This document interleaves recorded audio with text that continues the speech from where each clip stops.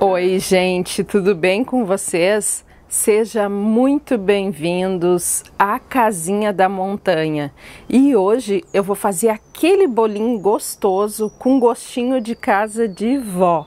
Bora lá fazer essa delícia. Então, para fazer esse bolinho super fácil, eu vou usar três ovos, clara e gema. Com esses três ovos, eu vou colocar uma xícara de açúcar e vou colocar aqui também duas colheres de sopa bem cheias, que pode ser manteiga ou margarina. Vai dar 80 gramas. Agora, o que, que eu vou fazer? Eu vou misturar bem esses primeiros ingredientes até formar um creme e que o açúcar fique bem dissolvido. Então, vou misturar aqui. Você pode fazer essa parte no liquidificador ou na batedeira.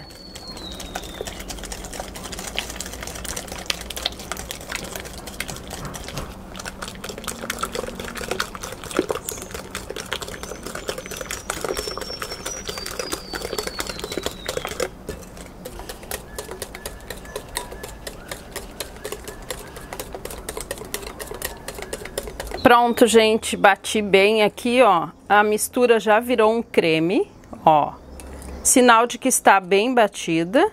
Agora eu já posso continuar colocando aqui os próximos ingredientes. Eu vou acrescentar aqui uma xícara de leite, 240 ml. Estou usando aqui o leite integral, mas pode ser o leite da sua preferência. Vou misturar aqui agora. Ó, gente, deixa eu mostrar para vocês como ficou diferente essa mistura. Quando você coloca o leite, por causa da manteiga ou margarina, vai ficar assim, ó.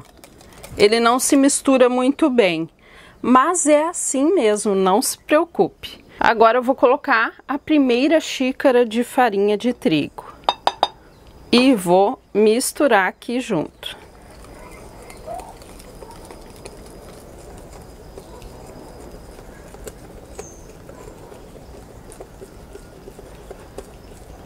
Já coloquei aqui então a primeira xícara, agora vou colocar a segunda xícara de farinha. Eu tô usando xícara tamanho 240 ml. Continuo misturando.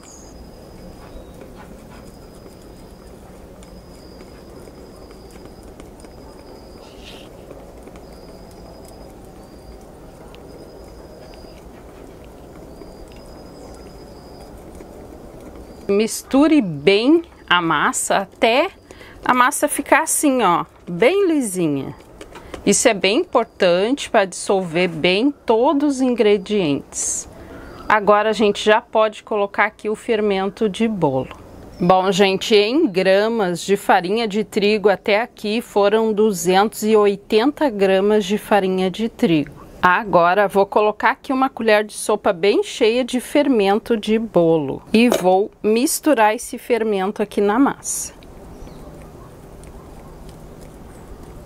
Peguei aqui uma forma de bolo. Essa minha forma, ela tem 21 centímetros de diâmetro.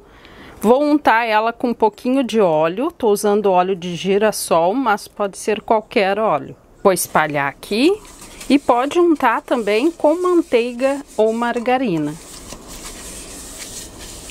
Pronto, gente, agora é só passar para cá a massa do bolo. Olha que massa linda que ficou.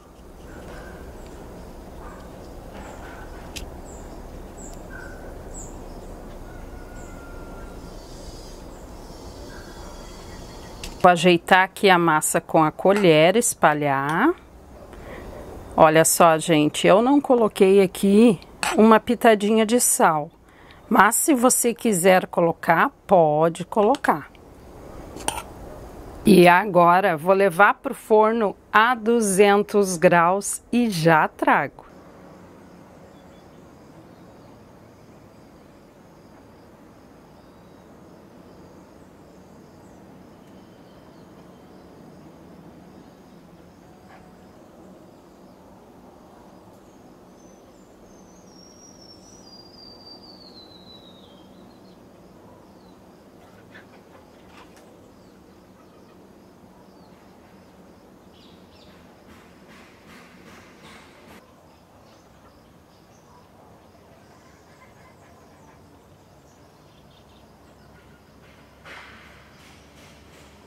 Olha esse bolinho, gente. Acabei de tirar aqui do forno o cheirinho de bolo gostoso, tá? Uma delícia.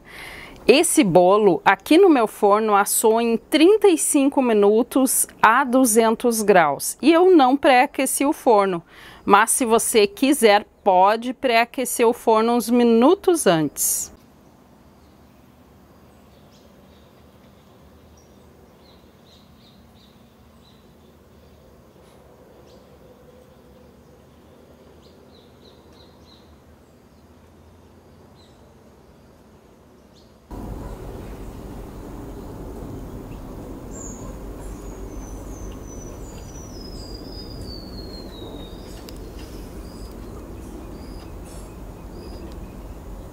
Agora vou esperar esse bolo esfriar para retirar da forma. Bom, gente, agora só nos resta cortar uma fatia desse bolinho.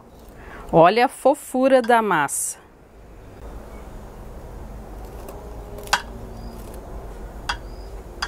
Vamos ver então. Olha, gente, a fofurinha dessa massa. Olha a situação desse bolinho. Nossa, gente, não resisti, tirei uma bocada aqui.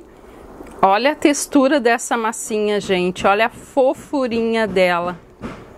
Não tem condição, né, fazer um bolinho tão fofinho com ingredientes super simples. Tá aí então a dica de hoje, bolinho simples e muito gostoso. Um beijo e tchau!